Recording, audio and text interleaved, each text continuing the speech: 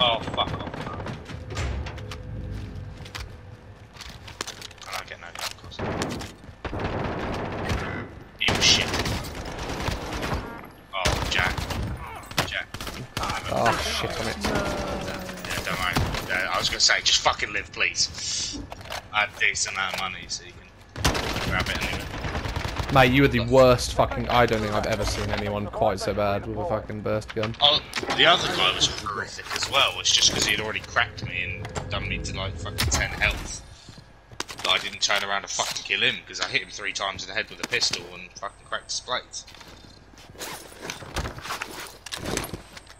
I mean, I must you know who the record last that. guy is? No.